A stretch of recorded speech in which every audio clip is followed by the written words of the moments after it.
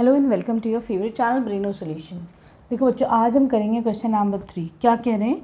ये कह रहे हैं कि pi is defined as a ratio of circumference to the diameter मतलब क्या है?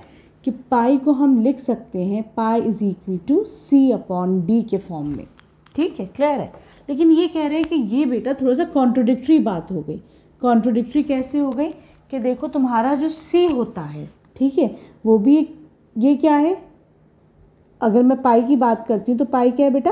पाई एक इरेशनल नंबर है, ठीक है? पाई इरेशनल नंबर है, वो तो सबको पता है, ठीक है? लेकिन यहाँ पर देखो, अगर तुम राइट हैंड साइड की बात करते हो तो ये क्या है? ये पी बाई क्यू के फॉर्म में सी अपॉन डी क्या है? पी अपॉन क्यू के फॉर्म में तो ये क्या है बेटा? ये तो एक राशनल नंबर हो गया। तो ऐसा कैसे हो गया कि इरेशनल नंबर राशनल नंबर के बराबर हो गया? ये कॉन्ट्रोडिक्टरी चीज़ है, इसको तुम जस्टिफाई करो। क्वेश्चन का पहले तो मतलब समझ लो, ठीक है? तो देखो बच्चों अब हम ये देखते हैं कि हमको पता है कि pi is equal to C upon D. ठीक है? क्लियर है?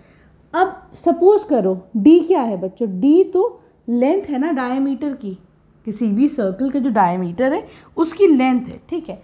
तो ऐसा भी तो हो सकता है बेटा कि जो डायमीटर की वैल्यू हो, वो सपोज़ करो, zero point zero nine, double zero nine, triple zero nine. ठीक है? इस तरीके से ये वैल्यू चलती रहे। है कि नहीं? तो ये क्या है बेटा? यहाँ पर अभी तो ये जो वैल्यू है, ये क्योंकि देखो नॉन टर्मिनेटिंग है नॉन रिकरिंग है तो ये इरेशनल नंबर हो गई। है कि नहीं? ना तो ये ख़त्म हो रही है और ना ही ये रिपीट हो रही है। तो ये इरेशनल नंबर हो गया, ठीक? लेकिन मैं क्या लिख सकती हूँ? मैं डी की वैल्यू को अप्रॉक्सीमेटली नाइन पॉइंट वन भी लिख सकती हूँ। है कि नहीं? ठीक है। तो देखो या फिर मैं इसको डी की वैल्यू नाइन भी लिख सकती हूँ। है कि नहीं? मैंने क्या करा? डी की वैल्यू नाइन लिख दी।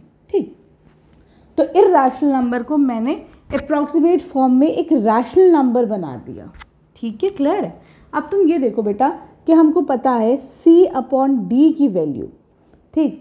अगर सपोज़ करो c तुम्हारा एक इरेशनल नंबर है, ठीक है? और d तुम्हारा एक रैशनल नंबर है तो कभी भी बेटा इरेशनल अपॉन रैशनल होता है तो आंसर क्या आएगा? इरेशनल आएगा। ठीक? लेकिन अगर तुम्हारे पास है c अपॉन डी सी है तुम्हारा रैशनल और डी है तुम्हारा इरेशनल हाँ तो ये आंसर क्या आएगा? तो भी आंसर बेटा हमेशा इरेशनल ही आएगा. ठीक है क्लियर है? लेकिन एक और, वो वो लो केस अगर तुम्हारे पास सी अपॉन डी है सी भी तुम्हारे पास इरेशनल और डी भी तुम्हारे पास इरेशनल है. तो इस केस में क्या होगा आंसर इस केस में ऐसा होगा, ऐसा भी हो सकता है कि आंसर तुम्हारा इरेशनल आए और ऐसा भी हो सकता है कि आंसर तुम्हारे पास रैशनल आए, ठीक है? तो अभी क्या करते हैं हम? ये रैशनल वाले केस को हटा देते हैं, क्योंकि ये कह रहे हैं पाई इरेशनल है। तो अभी हम खाली इरेशनल वाले सारे केसेस को लेके चलते हैं, ठीक है? तो हमने क्या देखा बेटा? कि सी अपॉन डी में से अगर एक भी बेटा इरेशनल है तो तुम्हारा आंसर इरेशनल आएगा। ठीक है क्लियर है, लेकिन अब तुम इसको लिखोगे कैसे? ये तो तुम्हें समझाने की बात हो गई, ठीक? लिखेंगे कैसे अब हम इसको देखो? तुम कह सकते हो,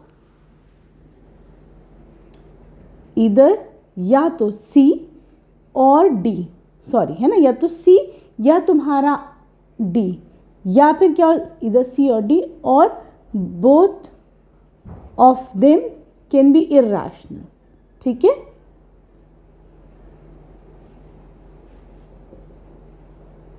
तो तुम्हारा आंसर क्या होगा? तो तुम्हारा आंसर जो पाई आया है, वो भी इराशनल हो जाएगा। ठीक है? क्लियर है? आई होप तुम्हें अच्छे से समझ में आया होगा। अब आ जाओ तुम इसके क्वेश्चन नंबर फोर्थ पे।